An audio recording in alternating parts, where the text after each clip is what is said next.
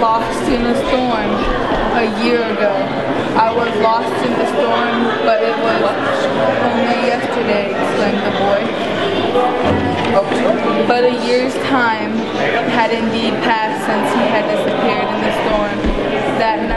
whole village celebrated. Story time is really about working with community members to realize what they can do for very young children. Just talking to them, singing to them, playing with them, and building that vocabulary is one of the most important things they can do to help their children be great readers. A lot of times families want to help, but they don't know how. And so this is really an important way to start building those pre-literacy skills.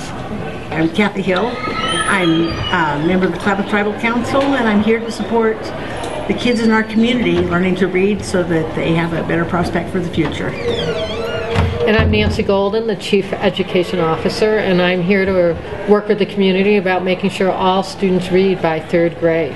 This is a great opportunity for the Klamath Tribes and the community to have a partnership with the state. We have a lot we need to do in this community to help our kids, and this is such a jump start for us.